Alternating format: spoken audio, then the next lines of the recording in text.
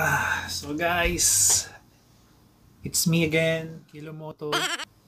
Uh, welcome back again to my channel.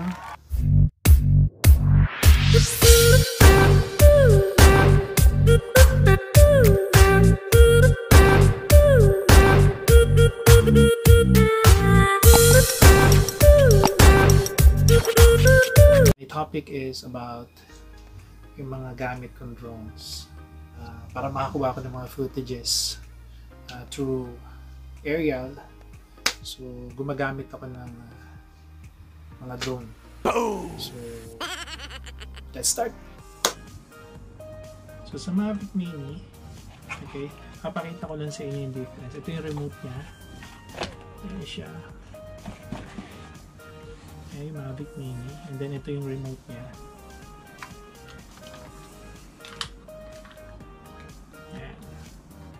Yan yung remote control niya. Unlike dito sa isa, dito sa isang uh, drone ko, which is ito yung unang-unang drone ko. Actually, nakabili ko to na-acquire ko siya galing pa to ng London. So, second hand to. So, yan. So, iba yung price nito, iba yung price ng bag nito. So, yun. So, ito, compared dito kay DJI Phantom 3. Yan. Kita niyo na yung difference. So, ang layo, di ba? So, ito, ito yung mga gamit ko nung mga unang biyahe ko. Nung nag-start ako mag, uh, mag-drone. Alam ko, tatandaan ko, Bicol yun eh. Nung nagpunta kami sa Bicol, ito yung gamit ko. So, wala pa siyang bag na ganito. Hindi ko pa dala yung bag na to. So, alam niyo, napakahirap kasi uh, yung top box ko dun sa motor na gamit ko uh, na 45 liters ang capacity na-consume niyang space is almost 60% ng top box na yun. Ganun siya kalaki. So, na-realize ko during that time, kasi may mga shots ako while nabiyahe kami, going and going dun sa location na pupuntahan namin.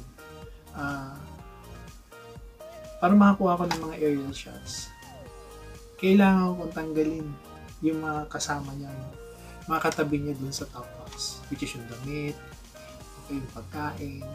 So, lahat sama-sama yun dun. So, kailangan ko munang tanggalin yun bago ko siya makuha. Okay? Then, saka ko pa lang siya assemble para magpalipad ako ng drone. So, which is napaka-hassle. So, dalawang beses ko itong dinala, Bicol at saka yung Sagada namin. Pero yung Sagada, never ko siya napalipad kasi sa sobrang pagod, sobrang pagod namin going sa Sagada and going back Manila. Nagaganda talaga ng mga aerial shot sana dun eh. Hindi ko talaga siya nagamit dahil sa sobrang pagod. Yung pagtanggal na lang ng gamit, hindi ko na ginawa kasi sobrang pagod nga.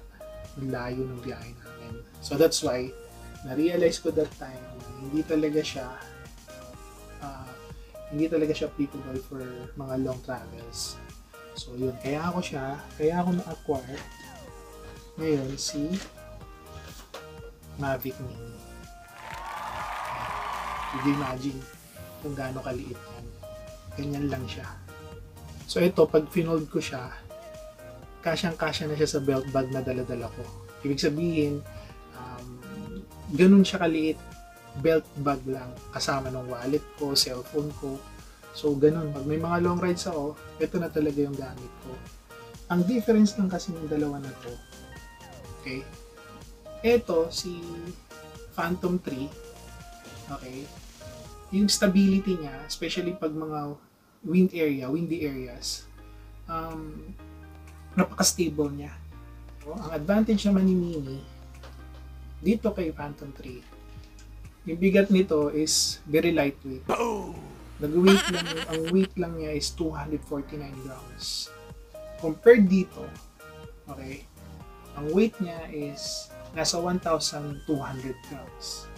So, ganun siya kabigat. Kaya ganun din siya ka-stable pag nandun siya sa ere. Okay? So, yun yung difference nila. Kaya, ang advice ko, dun sa mga gustong mag-drone at na malalayo bumiyahe, okay, at motor ang gamit nyo, go for Mavic Mini. Para hindi siya hassle. Okay? Kasi ito, ito talaga, pag siguro naka four wheels ka and malalayong biyahe kasama mo yung family mo, the best to. Okay? Kasi talagang, yun nga, dali mo lang tong bag, lagay mo dun sa may compartment mo, wala. Simple. Di ba? Hindi ka na, hindi hassle. Hindi talaga siya advisable para para dalhin using two wheels. So, yun. So, ito, si Mavic Mini, ito talaga na ngayon yung dinadala. After lockdown, siguro pag bumiyahe tayo, um, yan, siya yung daladala ko para makakuha tayo ng mga gandang mga aerial shots. So, pakita ko lang sa inyo how to open yung uh, Mavic Mini. So, first, yun nga, in-unfold ko na siya. Folded siya kanina, di ba?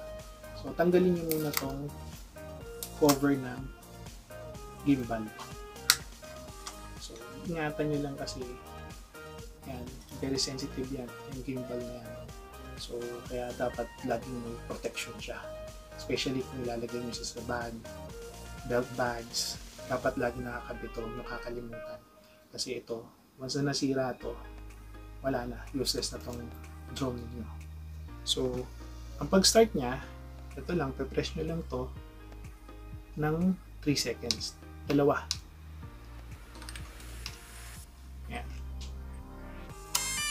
Yun, narinig nyo? Tumunog. So, yan, naka-open na yan. Okay? Connect to aircraft. Click lang land. And then camera view. Okay. So, ngayon, uh, before ka magpalipad ng drone mo, okay, kailangan meron kang internet. Okay? Kailangan itong ito, mag-on tong GPS na to. Ito. Yan. So, try natin na data. I-data natin yung phone para makakonect tayo ng GPS. Normally, pag lalabas ka, he'll be using talaga yung uh, data. O kasi, syempre, hindi naman pwede wifi. Okay? So, yun. Ngayon, once na nag-appear na dyan yung nag-green na yan, at, well, obviously, hindi talaga makaka-connect ng GPS yan right now. Kasi nasa loob tayo ng bahay. Okay? So, pag lumabas tayo, magiging green yan. Ibig sabihin, sasabihin niya na ngayon that uh, you can fly your drone na. Pero ito, may sinasabi siya na compass calibration required. So, click nyo lang yan, calibrate. Ang pagka-calibrate lang naman is ganito. So, ayan. Calibrate daw. Hitin nyo lang na ganyan. And then, ayan. So, ayan. Calibration successful. Okay? So, okay. So, ngayon, para mag-take off siya, kailangan mo i-click to. And then, kiklik mo to ng 3 seconds. Hindi ko kayang gawin, nandito tayo sa loob eh. Okay? So, yun yung mga features niya, yun yung pag-take off niya. Right? So, ngayon dito, i-click nyo tong area na to, itong FHD. Okay, nandyan yung mga selection. Alright? Mamaya, papakita ko sa inyo, lalabas tayo, kung ano yung mga use nito. Pero papaki-explain ko na sa inyo. Alright? Quick shot. Unable to quick when aircraft is not on flight. Ah, alright. So, kailangan pala siya nalipad na. Anyway, sige, mamaya paliparin natin sa labas. Okay? Yan yung basic na pag-open ng Mavic Mini. Yan yung mga basic operation features niya. Okay? Ganun din, pag off niya, ay, hindi ko pala na-discuss. So, ito, nantay na niya, dalawa. Okay?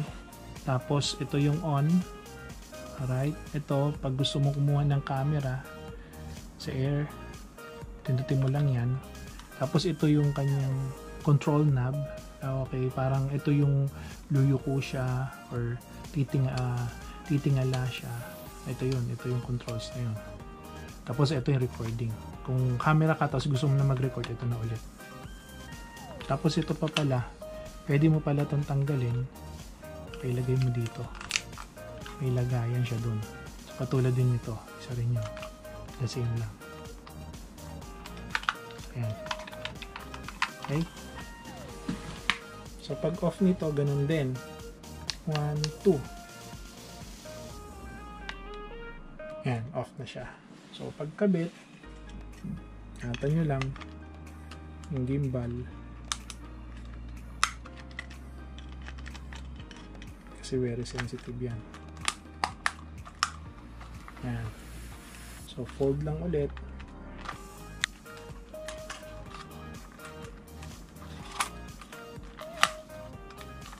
Ayan, kung nyo kung gaano kaliit lang yan.